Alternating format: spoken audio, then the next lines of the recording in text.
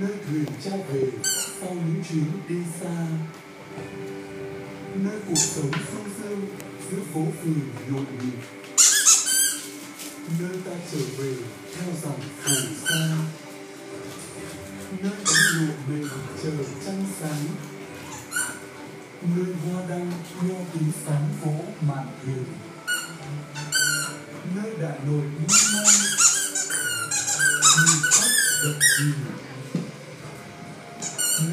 nơi bình ngọt lành cây trái với thời gian mang đến nhiều đổi thay những điều tuyệt vời mãi còn đó trên mảnh đất này. Hào hào cảm nhận từng giây hạnh phúc. Đó là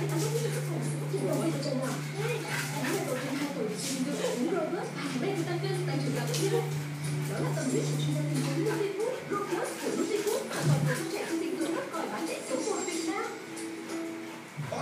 Vẫn chưa đủ Shopee khoản hoàn thiện em mùi ẩm mốc